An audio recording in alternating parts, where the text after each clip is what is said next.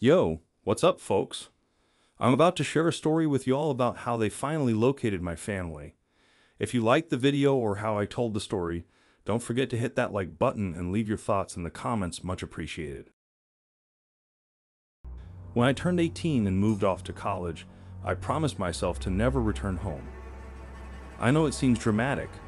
The statement is one of those adolescent eye rolls, but I didn't make some public pledge like the countless kids who do so just after they're dropped off at the dorms. It was a secret and one I promised myself I'd keep.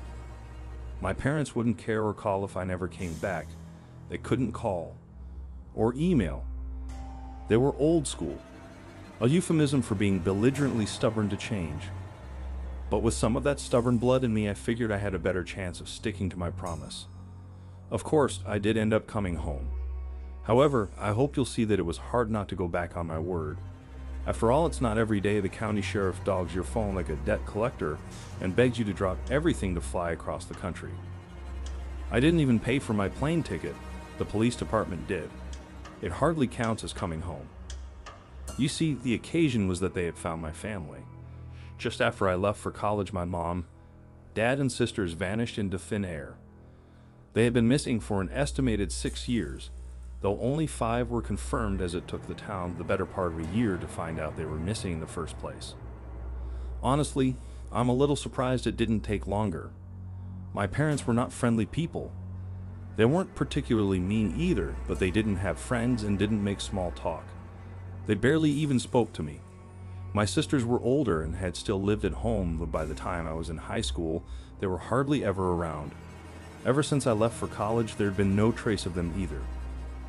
Their unnoticed disappearance was aided by the fact that my family lived on a secluded estate on the outskirts of town. It was 11,000 square foot mansion surrounded by fields and connected to the county road by a quarter mile driveway.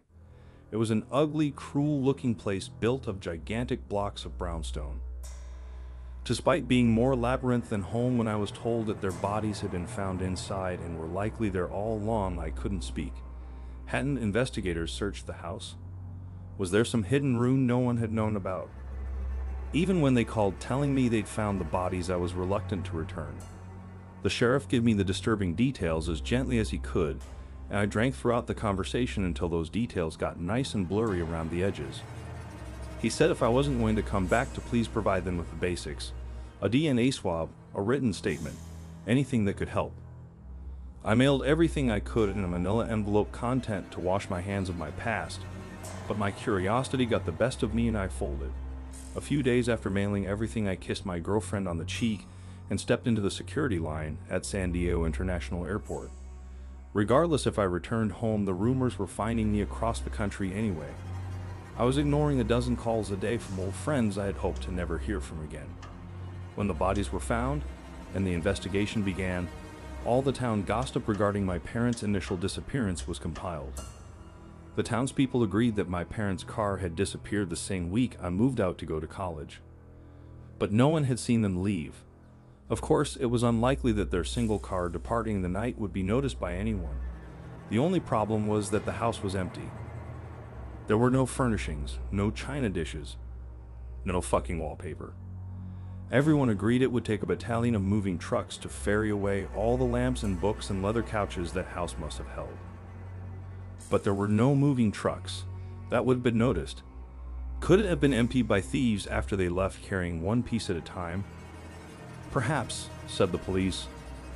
But the logistics of my parents' shit didn't concern me. To be honest, when I found out they went missing the summer going into sophomore year, I felt relief. Now I would really never have to go home. The town didn't have an airport, and it would be more than an hour's drive from Cedar Rapids, Iowa. Luckily, I was getting a ride and I wasn't all that shocked when I was greeted at the terminal by every investigative agent in the county. Unsolved quadruple homicides are few and far between in the heartland. The sheriff stepped forward. Sam, he smiled somberly. Hey, Sheriff. From my turbulent youth, I knew Sheriff Kane personally. After six years away, I saw he had become an old man now, though still large and mustached.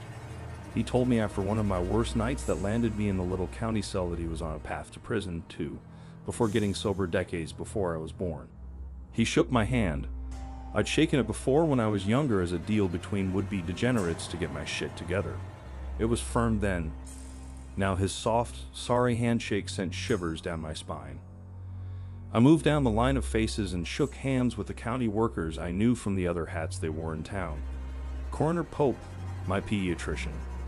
Officer Mann, my geography teacher. All their hands were limp and feeble in my own. I was the man with the dead family.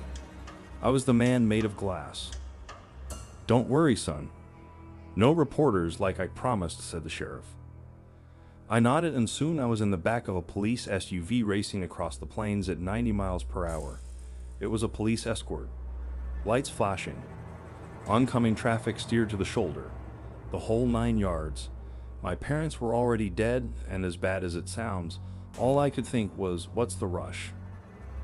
I understood it was important to find their killers as soon as possible, but while their bodies were found last week, they'd likely been dead since I moved out, six whole years ago. The sun was setting when we rolled into town.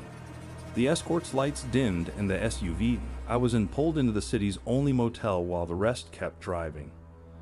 We've already got your room. The cop held a key card in between his fingers and I took it. It's room 14. The police station is too small for the crowd we're having tomorrow. We're leading the investigation out of the community center on Pleasant Street.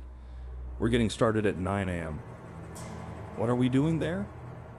We're going over everything we know, starting from scratch. We can pick you up, or he nodded his head down the block. You can walk, it's five minutes from here. I remember, thanks. And don't worry, no press is allowed in. If anyone bugs you or if there's anything you need, you just call Kane. And Sam, the cop paused. I'm sorry about all this. Yeah, again, thanks. I grabbed my small duffel and went to my room. Inside, I looked around briefly. The motel was cleaner than what I'd pictured the countless times I'd driven by it growing up. The room was cold, and the blackout curtains were drawn. I kept them closed and laid on the bed in the dark. Here I was, home again, I thought about going to the liquor store and getting drunk so I could sleep, but thought better of it. I didn't want to deal with the details of my dead family hungover. Instead, I stared at the stucco ceiling and I thought, that was a bad idea. I rose in an existential panic a few minutes later and paced the room. I couldn't be alone. I unlocked my phone. I still had a few friends in town and called my closest one, Jake. He picked up on the first ring Sam. Hey, Jake. I've been thinking of calling. Really, I'm sorry I thought you had enough on your mind. Man, I laughed. I'm the one who left and never called.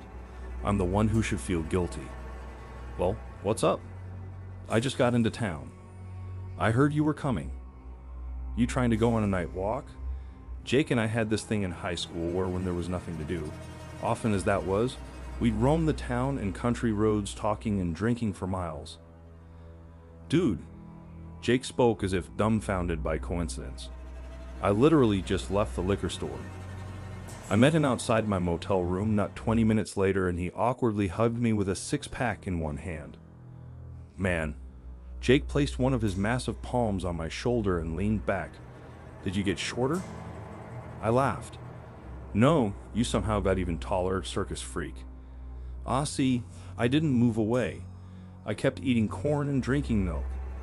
Do they even have dairy on the West Coast, or are you some almond milk freak now? What's it feel like being so tall and not too bright, huh? Well, it's a perk, he grinned. No girls ever had high expectations for my skills, and when I manage to impress, they shower me with compliments like I'm a champ. So the local ladies are into the Frankenstein look now. Once you left town, I became their top choice. He chuckled, patting my leg with the six pack. So, where are we headed? You might not be thrilled about it. His smile faded. You're really up for this, aren't you? Yeah, I am. Just to check it out. We can't go inside. It's a crime scene anyway. He opened a beer and took a sip. All right, he sighed, glancing towards my old house. I can handle that. By the time we reached the shoulder of the county highway, it was completely dark. We talked about people we both knew in town, avoiding the topic of the murders. After a moment of silence, Jake finished another beer and tossed the bottle into the bushes. I stopped and pointed. You're still doing that, huh? What? Tossing your beers in the ditch. We're not 18 anymore, man. You've got some weird priorities right now. I shook my head and kept walking.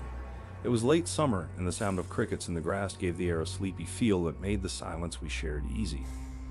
We were almost to the house when Jake cleared his throat. So you don't have to talk about any of this shit with me if you don't want to. But I've been hearing the craziest rumors. Yeah. Yeah. Do you know what I'm talking about? I nodded at my feet. That's all just bullshit, right? The things these farm wives can come up with. He laughed uncomfortably. Stranger than fiction. I didn't say anything. My old childhood home had come into view. There were no lights on, and in the dark its silhouette was outlined sinisterly. They're just rumors, right, Sam? There was fear in his voice, and while I heard him perfectly, I still couldn't bring myself to speak as I watched the house in the distance. Sam. I looked at him. Those farm wives actually put it all together pretty well. Even in the black, I could see his face blanch. You're fucking with me. I shook my head. Oh fuck. Jake yanked a beer from the pack and twisted off the cap. I'm so sorry, Sam. He titled his head back and drank deeply. Everyone in this town is. I sighed. Jake finished his beer with a burp, but this time he put it back in the cardboard six pack. As soon as he did, he pulled out another, and I couldn't help but smile. Afraid? Jake nodded as he put the new bottle to his lips. I suppose we should be scared. Come on. The gate will be locked, but if we cut through this field, we can get close. I started walking faster, giving Jake little time to protest. We crossed the field and stepped over the property line where soybeans turned to weeds. The house never had a lawn, at least that I can remember. My parents never cut the grass, and apart from the driveway, most of the property was overgrown with prairie. We got within 30 feet of the house before we stopped in the waist high grass. Jake reached behind his back and pulled out a pint he pinned in his belt. I heard him crack the plastic cap, drink, and smelled the whiskey as he passed me the little bottle. I took a long pull. The air glugged back several times before I lowered the pint and sucked air nosily through my teeth to steady my stomach. Why would you ever want to come back here? I ignored his question. This piss liquor reminds me how the water here always tasted like shit. All this grandeur, and it couldn't beat the tap water from a trailer park. Jake said nothing. Do you remember when this place burned? I would have been your age when that happened. I heard about it. I could see where the coral colored stone was stained with soot from when the flames licked from the windows. It burned the week we moved in, just a few days after apparently. The entire interior had to be rebuilt. I was two or three and I don't remember a thing, but my family never treated me the same afterwards. Growing up, I thought the fire was somehow my fault. Even if I did hold a candle to the drapes who blames a baby, or holds a grudge at least. But my parents, I frowned. Well, they seemed like the kind of people who would do that, didn't they? Can I just say it? I felt like I read his thoughts and smiled. Sure. Fuck. He exhaled in relief. I know you weren't close, but God, those folks gave me the creeps. I met them twice and couldn't sleep both nights. I shrugged. No hard feelings. Your sisters, too. I'm glad they weren't in our grade. Yeah. Were you closer with your sisters? No. Not really, but they were normal to me. Jake nodded and took another swig. He wiped his mouth with his hand and patted my back. Sam. Yeah? Can we get the fuck out of here? Yeah. I laughed, but just then our attention was taken to the road where gravel crunched under something heavy. It took a second to make it out in the dark, but an enormous object crept towards us. Suddenly we were blinded, and we squinted and threw our faces towards the dark. Hey, you kids. Oh shit! Jake was already pounding away through the brush. Cops. I stood still. Jake, get back here. That's our ride. I saw the outline of the officer get out the driver's door. Did you hear me? You there. You're trespassing. I thought we made it clear to all you kids that this place was under 24 hour watch and any more trespassers will be prosecuted. No buts. Sorry, I haven't been out here for a while. Did you hear me? No buts. Sheriff said to prosecute the next teens dumb enough to fuck around this place to send a message. That can be us. Fuck kid. I don't want to book you. You a Royals fan? No. Well, it's the 11th inning and I ain't missing a pitch. Now your friend there's got the right idea. You go on now and run from the police. I started walking closer. I was thinking maybe a ride for old time's sake. Huh? He squinted and stepped further from the car. Oh shit. Sam? How you doing? Sam. He said in disbelief and looked at the house. What are you doing here? Remembering. For whatever that's worth. I raised my arms and let them smack my sides. I'm sorry. He glanced me over as if he were looking for something he hadn't seen when I used to live there. I'm so sorry. Yeah. Don't worry about it. You can't bring people back from the dead anyway. He shook his head to clear it. So that must have been the big guy. He pointed into the prairie. I thought I saw a glimpse of Sasquatch when I hit those brights. Yeah, Jake. Get out here. We were both silent as we listened to the grass rustle. There was a distant shout. Are you sure? Yes, I'm sure. Do you want to walk back to town? I turned to the officer. You don't mind giving me a ride back to the motel? No, of course not. Anything. Thanks. Come on, Jake. We watched Jake stand and tower over the grass. In just a few steps, it seemed like he covered 100 feet and he stood next to me. Hey, Officer Cooper. I should have known. Was it his idea to come out here? He pointed at Jake. God, no, Jake wasn't paying us any attention as he brushed dirt off the plastic pint. This scaredy cat. I walked closer to the squad car. Can we drink in the car? Jake wiggled the whiskey. Jake, you big. Dumb son of a bitch, you don't even fit in my cruiser. We've been over this. I'm taking Sam, but you can walk. I told you that's just if you're stuffing more than one guy in the back. Sam rides shotgun. Watch, then I'll fit. The cop waved dismissively and got in the driver's seat. When we started up the drive, there was still the comfortable sound of baseball on the radio. With the strong voice of the announcer and the soft cheering and chattering of thousands of fans behind him, it was hard to feel any fear. I pictured the stadium. The billions of bugs whirling under the lights, the tired kids leaning against their nervous fathers with fingers sticky from cotton candy, ready to go to bed. I managed to forget where I was and smiled. So, uh, Officer Cooper turned off the radio and broke the silence. Sam, I've been hearing all sorts of rumors running around. I leaned my head in my hand and closed my eyes. Ah, he picked at his collar, that's all just bullshit. Right? Underscore, underscore, underscore, underscore. When I woke in the morning, I considered it a good thing that I was still drunk and not hungover. Jake and I had gotten dropped off at the liquor store and walked back to my motel. I don't remember much of the night, but at some point, Jake had left because the other bed was empty. One of the deputies had given me a wake up call at 8, and I showered, drank a couple warm beers to keep the buzz going, and dressed. I walked to the community center. Some press was set up with their satellite trucks in front of the building. Sheriff Kane had been on the lookout for me, and when I was getting close, worrying I'd be recognized, he led me around the block and through the back. I was ushered into a medium sized event room with three long tables forming a horseshoe, and they sat me at the center. At the end of the room on a cart was a big black Panasonic where our reflections fish eyed in the dark glass. Every seat in the room was already full, and based on the empty paper cups of coffee that many officials had in front of them, it looked like this conference had started an hour or more earlier. A woman in suit stood as I sat. She wore her hair up, and I glanced a pistol bulging on her hip. Mr. Martin. Please, I said quickly. Sam's fine. Of course I'm sorry, she smiled at me pityingly. Sam, thanks for coming. We can't imagine what this must be like, and before we get started, I want to make clear that we can stop whenever you like if you need a break. That's fine. Ach, My name is Casey Allen, and I'm the lead investigator on this case with the state PD. You're going to be hearing from a lot of people today. She turned to the table to her right and pointed. We have Richard Pope, the Clayton County coroner. He lifted his hand from the table in a weak wave.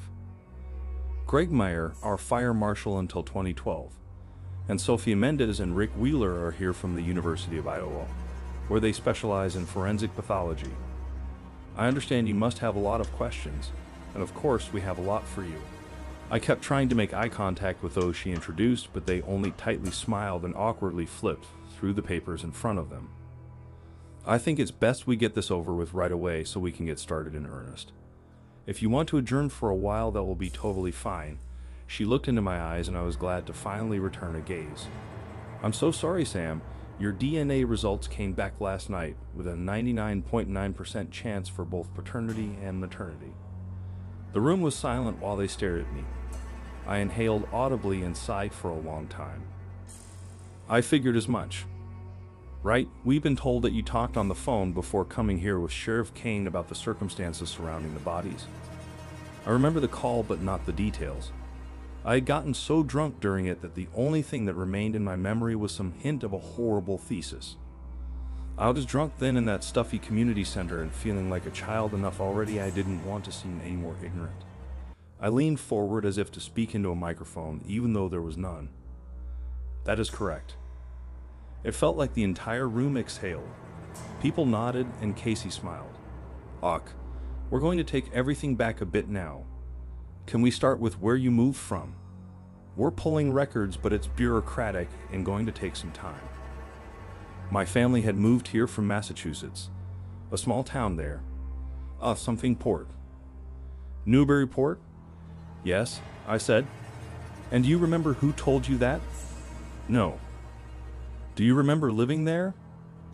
Well, I would have been two or something. No. Maybe we should start at your first memory. Do you have any idea what that may be, Sam? I squinted, remembering the feeling of heat on my face. I do. I saw my childhood home burning in the night. I remember the fire. Are you referring to when your home burned in 2001? Yes. That's great.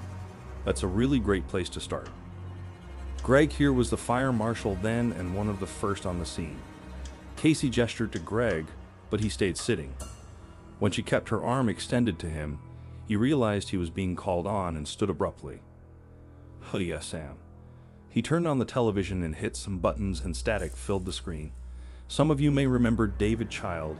He was a teenager at the time of the fire and perhaps a pyromaniac. He liked to follow the department around and film fires. Luckily, he made it out there when the Martin home burned. I've got the tape here. He hit play and there we were. It was a beautiful shot. My parents stood with their backs to the camera and my little sisters were standing at their feet. All of them stood stoically still as they watched the home burn in the night. They held the toddler in their arms. Me, I realized and smiled. The fire marshal shifted uncomfortably. Now this video is just seven minutes of this. See, there's no hydrants out there, and the fire was already so progressed there wasn't much to do anyway, but let it burn out. But, um, I frowned as the fire marshal stuttered, and his voice began to get nasally with tears. I found you that night, Sam, just after we pulled up. I found you wandering around the outskirts of the fire all by yourself. Of course, your folks had just moved in that week. Nobody had ever met them. I didn't know what they looked like. He pinched his nose and squinted, I was carrying you around thinking your folks were dead in the fire when suddenly I saw those people staring at the flames. I swear they hadn't been there before, but it was dark and a little hectic. They must have been waiting under those cottonwoods. I brought you over to them. He paused, trying to compose himself, and sobbed. I put you in their arms. I was angry at his guilt. I should be the one crying. I should be the one who gets to break down. Casey saw my scowl and patted the fire marshal's shoulder. She gestured to his chair and he sat. I'm sorry, Sam. The marshal got a little ahead of what you know. Based on the unignited accelerant found on the bodies and the carbon dating, we believe that the night of the fire was likely the first contact you and anyone in town made with the suspects. Suspects, I thought and frowned. Sam, are you with us? I'm not sure. The room quietly wheeled. Everyone looked at one another and shifted in their folding chairs. Sam, I'm sorry, but I'm going to need to know you're following this 100%. I believe you said Sheriff Kane explained the situation when he called. I don't remember. Casey hesitated but then spoke firmly. The bodies found in the home that the DNA identified as your biological parents have been there for more than two decades. I said nothing. The lead suspects in this case are the people that raised you. We believe they may be responsible for the murder of your birth mother and father. Where were they found? I heard myself suddenly say, Your biological parents? Yes. Somehow the others in the room grew even more uncomfortable. Your parents were found in the basement, in the water cistern specifically. And that water cistern, I paused. It's used for storage. The fire marshal covered his mouth, and we all watched him speed walk from the room before Casey continued. No, it's the main source for the home. Ah, I said. I want to emphasize that the water was very cold year round. The bodies were surprisingly well preserved and never entered into advanced decomposition. I couldn't speak anymore. I stared in shocked horror at the TV screen. The video was still playing, and I watched as the woman's hair fluttered in the wind. She held me in her arms as the fire flickered beautifully in front of her. So, who were these people that didn't mind the taste of rotting flesh in the tap water? Who waited in the windbreak for my family to go to sleep before murdering them in the night, only to vanish after raising me for 16 years? Sam? In that moment, I felt nothing but a terrible clarity that whoever they were, I was going to stop at nothing until I found out. But the answers I found were so insidiousness, I only wish now I'd ran from the room. Sam, we need to know you're following everything. Would you like a break? No. I pictured my parents floating in the cistern and bit my tongue to keep from crying. I understand, I said. You finally found my family. When I stepped out of the community center into the alley around noon, it was sweltering. We had never adjourned. I'd spent the last three hours giving every shred of information I could about the people that raised me. I don't know what to call them. Thing one and thing two. Mom and dad? Whoever they were, after scouring my memory, I was certain they'd never said anything about grandparents or other families somewhere else in the country. They never suggested moving, and we'd never even gone on a vacation. I had no leads on where they might have vanished to. Detective Casey said they were still searching the house for any DNA and were asking around town for six year old surveillance footage to hopefully get some pictures, but that was it. There was little to go off. It seemed incredible that these people could raise me for as long as they did and leave so little evidence of who they were. They had gone by my parents' names, William and Lisa, and used my parents' social security numbers and bank accounts. They had taken their lives and, in the process, scrubbed any evidence of who they actually were. The police had confirmed my bio parents were real. They had shown me photos of them and had their birth, tax, and driver license records from Massachusetts. But I didn't want to know about them. I didn't want to know about the normal life and loving parents I was supposed to have.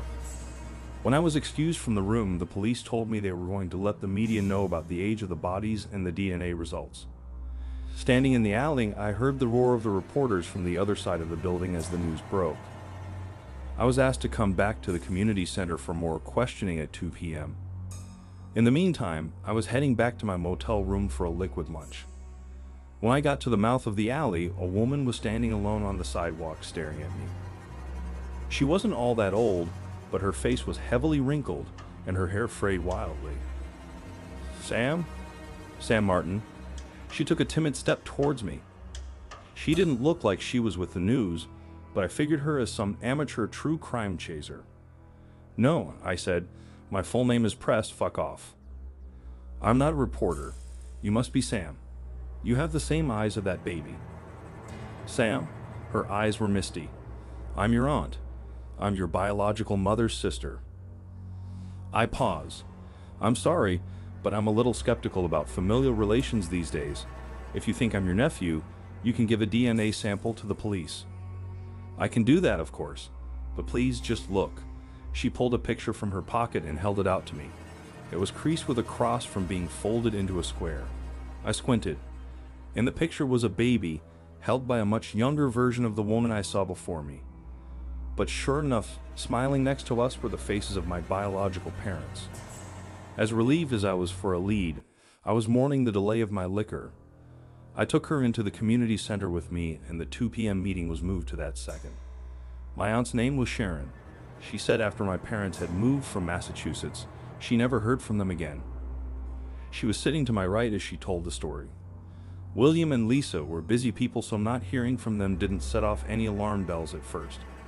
But after about six months, Lisa still wasn't returning my calls. I had promised my sister I'd visit anyway, so I bought a plane ticket. Casey was standing in the front of the room and looked at Sharon gravely. And William and Lisa, did they say why they moved? Sharon frowned. No, they never said. Or maybe I never asked. They had a lot of money from William's father, and I was told his family was from the Midwest. Why exactly they chose to move here, I don't know. I only spoke with Lisa a couple times a year. So, what happened when you came to visit? Well, I got a rental car and drove all the way to their new address. Their car was in the driveway, which I remember gave me some relief. But when I knocked on the door, the man that answered wasn't William. Sharon shivered. I said I'm looking for the Martin family, and he said, speaking. I said, You're not William Martin, and he just smiled. He didn't say anything else. He just kept this big, creepy smile on his face, and he slammed the door. Casey stared at her skeptically. Did you notify the police? Of course. I sped into town and pounded on that damn police station door. I told them everything I just told you. They looked at me like I was crazy. A cop followed me out there and spoke to that man, but said I'd need some evidence for my accusations. They asked me if I could provide documents or the driver's licenses of the Martins. I said not that minute, but I could eventually. I flew home to gather everything I could. I mailed it to police station here, but that was the last I heard of it. Sheriff Kane frowned, leaned back, and glared at Sharon. Do you remember who the officer was? Did you ever call again to follow up? said Casey. Sharon looked uncomfortable. That man, she pointed to the sheriff. It was him. And no. Casey glanced at the sheriff for a moment before continuing. Why didn't you contact anyone again? Because there was something wrong with the whole thing. Because to be honest, it felt like one big conspiracy. Like they knew the Martins weren't who they said they were, I had the feeling if I came back here raising hell that the next person to knock on my door looking for me would be greeted by some smiling creep calling herself Sharon. So that's it. You left it at that. No further inquiries to any law enforcement agency. No. Sheriff Kane? Casey could turn to him. Do you remember these events? Kane never took his gaze off Sharon. Bullshit. Sheriff? I said that's bullshit. Every word this woman's saying. Casey, you're from Des Moines, so maybe you're not familiar with the crime around here, but it's few and far between. If 15 years ago some lady came here saying the new creepy family wasn't who they said they were, I'd remember. The whole damn town would. None of this ever happened. Everyone was looking at Sharon. It did. She leaned back and looked fearfully around the room. It did happen. Perhaps it was that nothing could shock me after that morning's news or that the booze was finally leaving my system, but either way I was apathetic to Sharon's arrival. I felt like the spectator of a soap opera and excused myself from the room. Before I left, they asked me if I'd stay in town while Sharon's DNA results were being processed.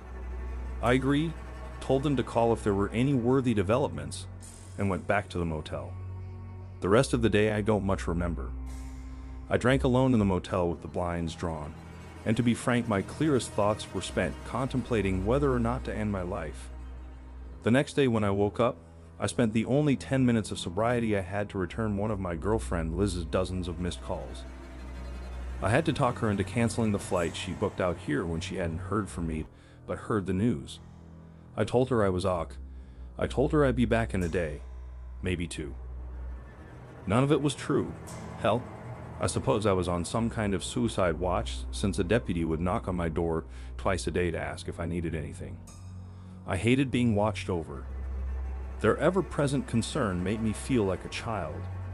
My second night there, I turned off my phone, slipped out of my room, and went to crash on Jake's couch. I must have drank the shock out of my system, because the next morning I woke without the urge to grab a beer from the fridge. The burning curiosity I felt in the community center was back. I couldn't just drink the rest of my life away because I had a great excuse to do so. When Jake woke and came downstairs, I was sitting at his kitchen table. It took a half hour of convincing, and for Jake to drink about six breakfast beers in that time, but that night he was coming with me to my old house. I wanted to see it. I wanted to see the cistern. Jake's eyes were glassy as he stared into space. Why can't the police take you? I'm sure they'd show you around the scene. Because what fun is that? He gulped. Ock, are you sure it has to be tonight? We could always put it off a day and hang out. It's got to be tonight, I smiled. Royals play the White Sox at 7. We waited for it to get dark before we took Jake's car to a county road just two miles from the house.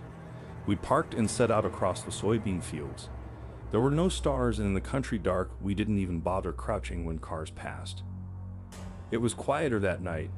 No crickets, just the sound of the soybeans rustling against our legs and Jake's handle of rum lugging in his backpack. Did you need to bring half a gallon of liquor? Hey man, he hissed. Did you want to go alone? We stopped as he tossed his backpack around and pulled out the bottle. I stood with my hands on my hips as he sipped. As I looked into the distance, my hair shot on end and tears welled in my eyes. A quarter mile away, where a tree line met the field, a figure stood staring at us. I could just make out their shadow against the trees. There's someone watching us. Jake choked on the rum and started coughing. Not fucking funny. Not fucking joking. He put an enormous hand on my shoulder and stood behind me as if I were a shield. Where? I pointed and he followed my finger. As I stuck my arm out, the figure turned and stepped calmly into the copse. What the fuck? I turned to keep walking. Sam, we've got to get out of here. It's probably just a reporter. You don't believe that? You're right, I don't. But Uck, I nodded my head the way we had come. You're free to walk back to the car. Alone. Fuck. He held the giant bottle of rum in both hands and drank. Fuck this, he slurred. And fuck you. Underscore, underscore, underscore, underscore. It was easy to get into the house. Officer Cooper's car was parked far up the driveway towards the road, and we slipped through a glassless window on the first floor. Inside was pitch black, but to avoid being spotted, we couldn't use flashlights until we were in the basement. I reached out to find the wall and pictured the way to the basement door. Ock, I know the way downstairs. Stay right behind me. Suddenly, I felt myself being groped. One of Jake's giant hands probed me until he found my hand and he held onto it. Really? I whispered. No homo. Ock, fine. Let's go. I got to the basement door quickly and turned on my flashlight at the entrance. The damp stairs creaked, and we could hear each other's hearts as we crept down into the dark. Thankfully, the basement was one giant unfinished hole in the ground, meaning there wasn't a labyrinth of rooms like the floors above. There was little space for anything to hide and pop out at us. In the center of the crumbling concrete floor laid the entrance to the cistern. It was opened and the giant metal lid lay upside down next to it. When I saw the lid, I blanched. I suddenly remembered I had tried to lift it as a child, just to see if I could. Of course, it was too heavy. I felt like crying as I pictured myself as a little boy heaving with all my might on the handle, too little to lift it, too little to reveal the truth. I heard liquor sucked from the bottle behind me and shook my head as I walked to the mouth of the open hole. It had been drained and a long aluminum ladder descended into its depth. The light of the flashlight seemed to barely reach the bottom, but I could see that the cistern was a cylinder lined with brick. I'm going in there, I said, turning to Jake. What? He fumbled, putting the bottle back in the bag. You gotta. He burped. Scuba suit.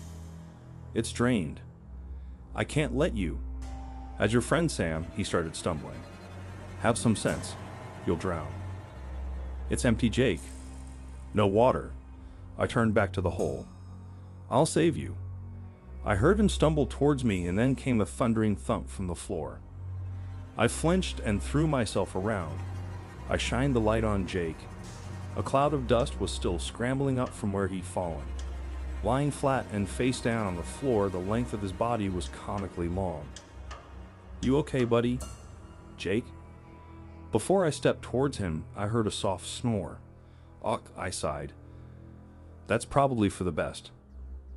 I put my flashlight in my teeth and started down the ladder. It was an unstable descent, and I kept my eyes on my hands. At the bottom, my sneakers sucked in the mud. I shined the light around and froze. There were words scribbled into the wet brick wall. Symbols. Thousands of them. I slowly brought the light up the wall and my eyelids peeled in fear.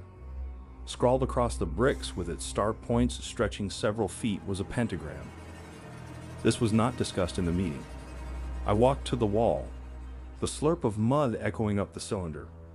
The water had worn the stone, but by reading slow and tracing my finger in the carvings, I could make sense of it. Our son Sam. A star fell the night you were born. As beautiful as our baby boy, you can't imagine our delight when we were told that Star was your soul.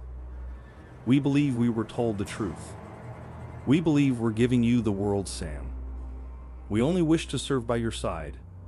Your eternal servants, Mom and Dad. We love you. I stepped back from the wall with my mouth agape. Mom and Dad? Did my bio parents write this? I looked around frantically. Every word carved into the cistern was the same message repeated. Over and over again, the word stretched up its entire length. It must have taken weeks. I stumbled backwards to the ladder and climbed it in a panic. Jake? Jake? Wake up. He lifted his face off the floor and squinted. Ugh. I turned my phone on for the first time in a day. I had messages from the sheriff from Liz. But then I frowned. The coroner had texted me urging me to call. Jake, we have to go upstairs. Oh God, he groaned. Are we still in the spooky house? Not for long. I went over and helped him up. He reached for his backpack, but I yanked out the bottle and hurled it into the wall where it shattered. He paused for a second and mocked. Hey man, we're not 18 anymore. Come on, you drunk bastard. I stumbled back up the stairs with Jake's immense weight halfway on my shoulders. Back on the first floor, I shrugged him to the ground, and I called the coroner. It was late, and I hoped he kept his ringer on. He answered on what would have been one of the last rings. Sam. Hey, I know everyone has been calling. I'm fine. I just needed a break from it all. We figured such. But have you heard my report? No, I saw your text. Right. I heard him sign as he rose from bed. Sam, I know this may sound even stranger, and trust me, I double and triple checked everything. I came to this conclusion a few days ago and really took my time to make sure. What? Sam, your biological parents' wounds are self inflicted. There were no defense markings. The cuts down their arms were sure and steady. But those bodies are so old, Cold water is a coroner's best friend.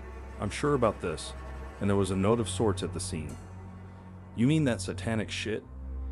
They told you. Yeah, something like that. He didn't respond, and I brought the phone down from my ear. I've got to go. I hung up and stared into the dark. I listened to my ears ring, but suddenly I flung my face to the ceiling. There were footsteps coming from the floor above. Slow and searching, creaking down the length of the hall. Jake grabbed my leg. Sam. Shh. I craned my neck to look down the hall and out the front window. I saw the taillights of the police cruiser as it turned onto the road and drove away. The footsteps continued and my eyes widened as I realized where they were headed. They were headed towards the stairs. The footsteps were descending now. I could hear the stair treads crack and pop as they were met with the weight. Jake stood mumbling. Out of here, he said, and threw himself out the first floor window where his limp body whacked into the weeds. I stayed inside. In fact, I walked as calm as I could into the foyer that the grand staircase accorded into. She was waiting for me at the foot of the stairs. It was Sharon. You've read your parents' note. She smiled and wiped away what must have been tears of joy. Isn't it beautiful? I shivered and said nothing. You want to know if it's true, don't you? I don't care, you're just another one of those creeps. But you do, Sam. How could any person with a hint of curiosity in their bones not want to know? We were both silent for a moment before she spoke. I know where they are. The creatures that raised me. She nodded. They're just people, Sam. You're people. All of us are. You were the one with the chance to become something more. Unluckily for you, I never want to see those people again. They very much want to see you. She stepped forward and extended a small leather notebook. This will tell you how to get there. She wiggled it, and finally I snatched it out of her hand. Good, Sam. Go get some rest. It's half a day's drive. She started walking to the front door, and I shouted after her. Hey, wait. She stopped. So, all that stuff you said in the meeting about coming back here and filing police reports, it was all a lie. You have to excuse the townspeople, she smiled.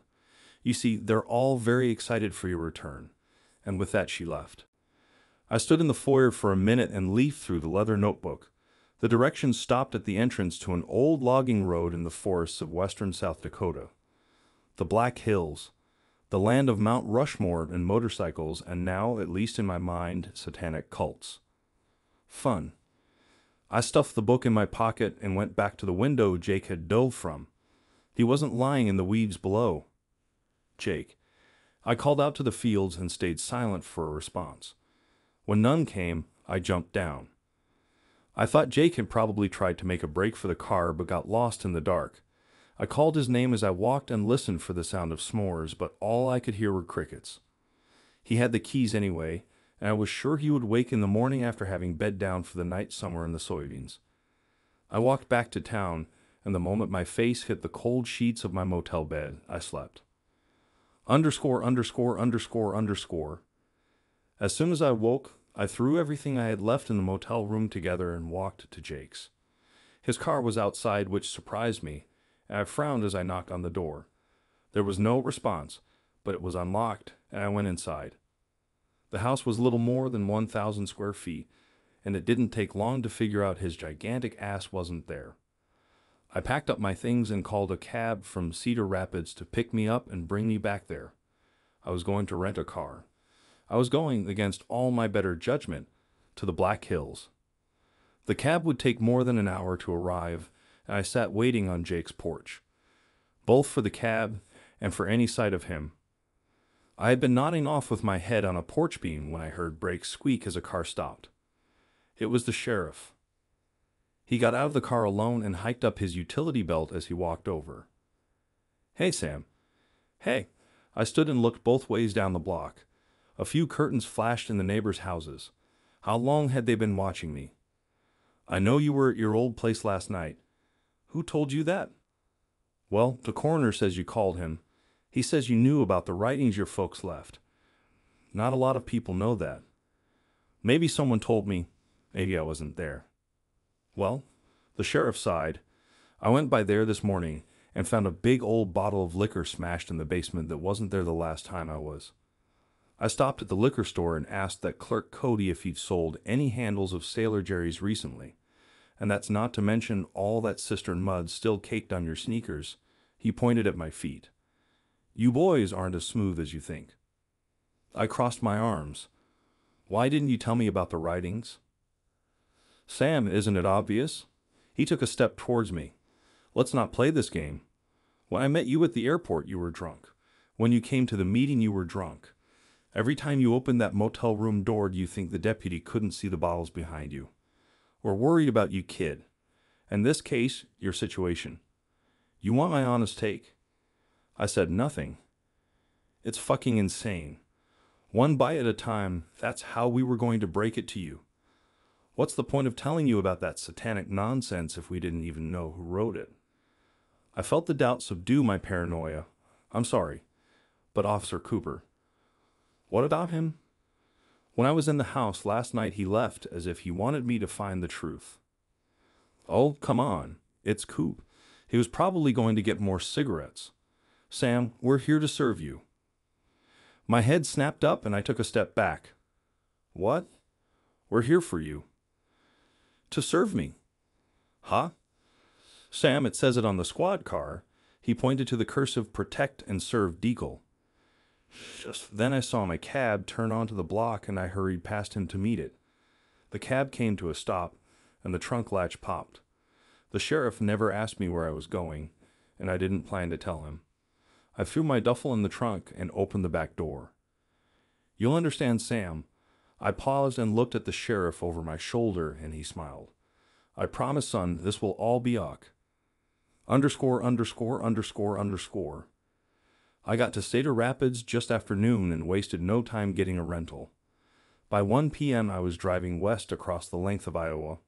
My phone said I'd arrive at a lake, the closest landmark to the entrance of the logging road mentioned in the directions, just after 11 p.m. I was an hour from reaching Sioux City when I realized someone was following me. A brown pickup had been in my rear view for far too long, and I stopped to top off my tank even though it hardly needed it. The truck sped past when I pulled into the gas station, but I couldn't get a good look at the driver. When I got back on the empty highway, there was no sign of the pickup, but after 20 more minutes on the road, I saw it in my rear view, only further away this time, trying to be more hidden. It must have been waiting down a county road for me to pass. I was going to confront whoever it was, but as I began to slow, I saw another car start to overtake the pickup in the opposite lane. It was almost too far away for me to understand what I saw. The car swerved violently into the pickup, sending it spinning into the ditch and disappearing in the cornfield. Fuck. I slammed on the brakes and turned the rental around. By the time I got to where the collision had happened, the other car was long gone. I saw nothing but a slight shimmer of sun on its glass as it raced away. There were no other cars around, and I left mine running in the road while I got out and walked to the wreckage. The corn stalks were calmed to the earth where the truck had rolled over them, and forty feet from the ditch, the pickup sat upside down, one of its wheels still spinning as smoke rose from the engine. I crept cautiously towards the cab. It was an old truck, a 70 square body with no crumple zones, and the metal was twisted horribly. I bent down while still several feet away. The thick scent of leaking diesel deterred me from getting any closer. I froze. Inside the cab was the contorted corpse of the sheriff. His dead eyes stared back at me. I stood and looked around. Wind whistled in the corn stalks and played with the smoke. There was no one else around. It would take a half hour for first responders to even get here, and then what? Even though I knew the car that took him off the road was gone, I still felt like I was being watched. I walked back to my car and got in. Was the sheriff really trying to help me? And who ran him off the road, Sharon? After all, I thought as I started the car, who else could it be? Underscore, underscore, underscore, underscore. I didn't stop for nearly 400 miles. I was a little more than an hour away when I had to get gas again, and by then it was nearly dark. While standing at the pump, I looked at the rich shadow of the Black Hills poke up from the desolate prairie in the distance. Somewhere in there were the people who promised my parents my soul with Satan's. As I hung the nozzle, I noticed a car had pulled to the shoulder about a quarter mile down the interstate. I had been watching my rear view mirror closely after witnessing the accident, and there were a couple times that I thought I was being followed again. But it didn't much matter. If it was Sharon, she knew where I was headed anyway.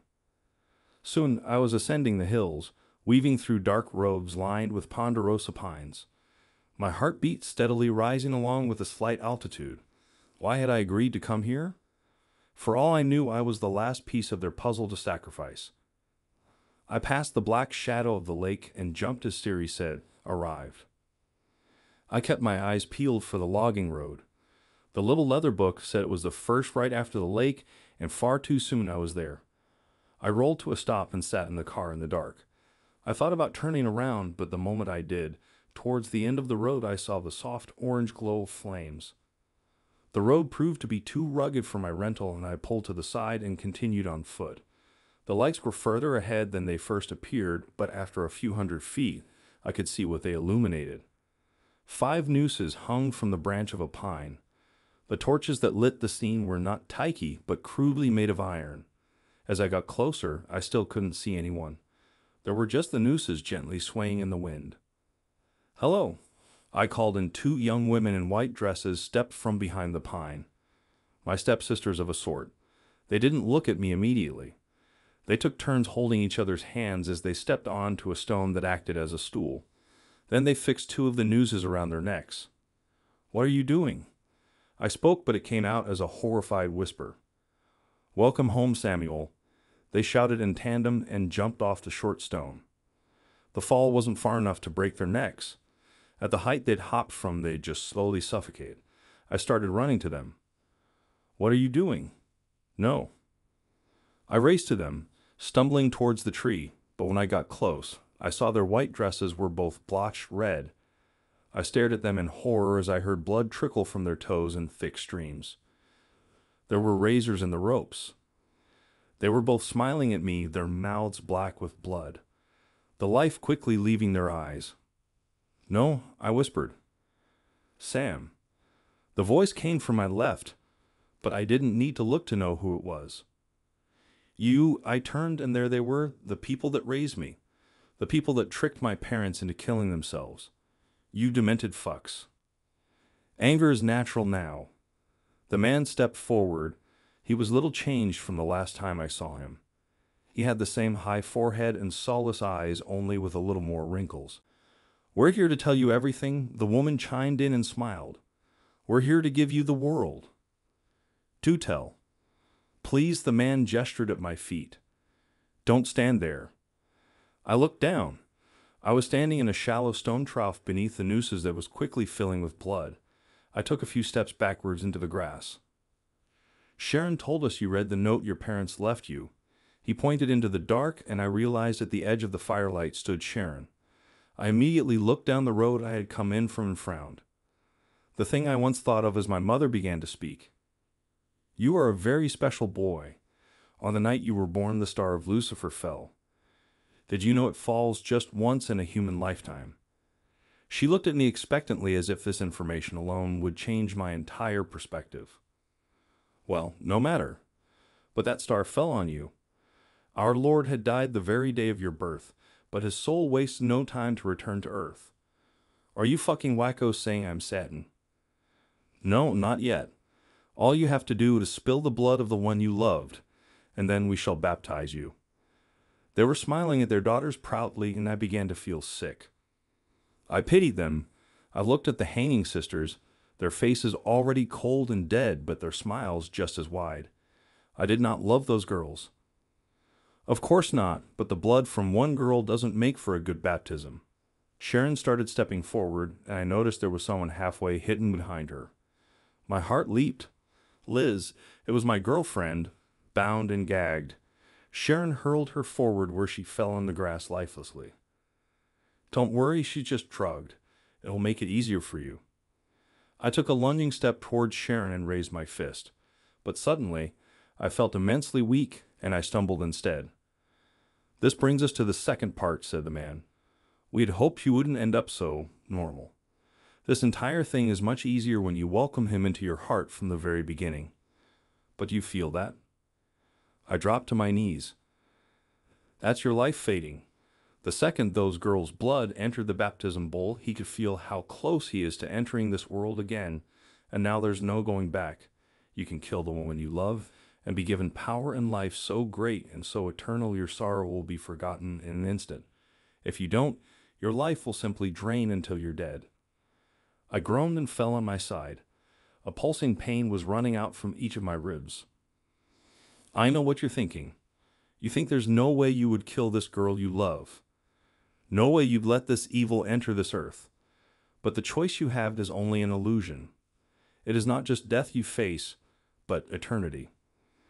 I frowned and looked into the man's eyes. If you deny him life, he will take you with him into the void for time ad infinitum. You will wander alone, and in the darkness, you will know madness previously unknown to man. Do you think there's a difference between one and ten billion years of blackness? You'd have to have to let us know. I turned away from him. Could this all be true? I tried to think if I could have been poisoned. I hadn't eaten all day. I bought a single bottle of water from a gas station and drank the whole thing just after opening it. And the way I felt, it was unholy. You will kill the girl, the man said with certainty. We will help you raise her into her noose then we will don our own. You see, he stepped towards me. You would be the first fool to choose eternity. Did they know? I winced in pain. Did the town know? They were promised a great reward for keeping you safe. Everyone knew. Everyone, Sam. Even the children were told in song, and they shall all be your servants. Suddenly we both frowned as an engine roared in the near distance. I rolled so I could see the road. Coming out of the dark was the black shadow of a car with its lights off. It was violently pitching over the ruts, and in just a few seconds it was only 50 feet from us. I had never seen the people I'd previously known as my parents express much emotion. There were many things I could never picture them doing, and running was at the top of the list.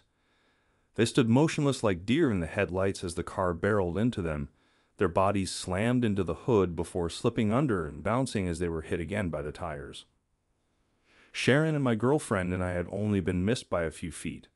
The car slid to a stop, and the door flung open, and to my disbelief I saw all sixteen of Jake pounding across the grass and ducking under pine branches toward us. Sharon stepped in front of him, but before she could say a word, in one fluid motion Jake drew his arm back as far as he could, formed a fist, and hurtled it into her head. Jake had always been a gentle giant, and I was always morbidly curious as to what kind of damage those enormous fists could do. There was crack like a branch breaking, and Sharon slapped to the earth motionless. Fuck, said Jake.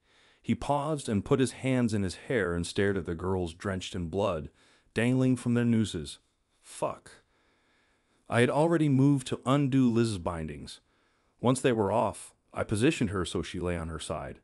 Her breathing was slight, but steady. I looked up at Jake uncertainly. I'm sorry. He ran his hands over his face. I'm sorry. I never told you and I'm sorry. They threatened Miss Am. They said we'd all be rich when you came back. He settled himself and breathed for a moment. I knew you weren't the devil, but more importantly, I knew there was no way you'd ever want to be one if it were offered. Sheriff Kane, he put his hands on his knees and breathed.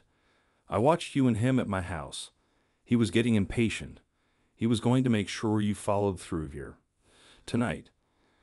That was you. Despite the strangeness, I managed to smile. You PIT maneuvered the sheriff. Did you fucking see it? Jake suddenly grew excited.